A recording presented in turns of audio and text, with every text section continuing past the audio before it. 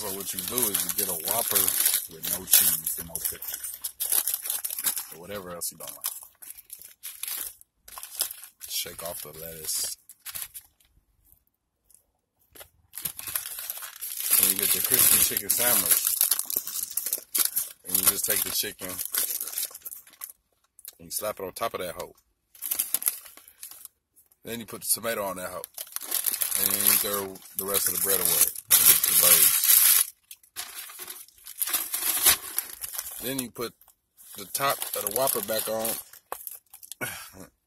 And then you got, I don't know how many calories this is, but mm, that's it.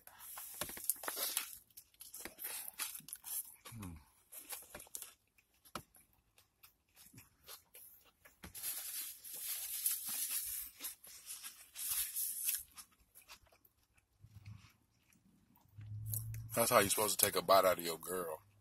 Like this.